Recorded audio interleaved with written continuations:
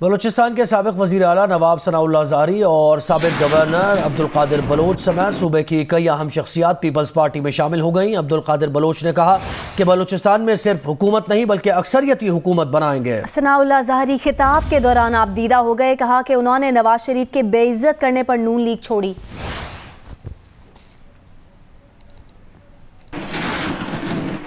नवाज़ शरीफ को मैंने कहा हमें पंजाब से कुछ नहीं चाहिए, हमें इज़्ज़त चाहिए।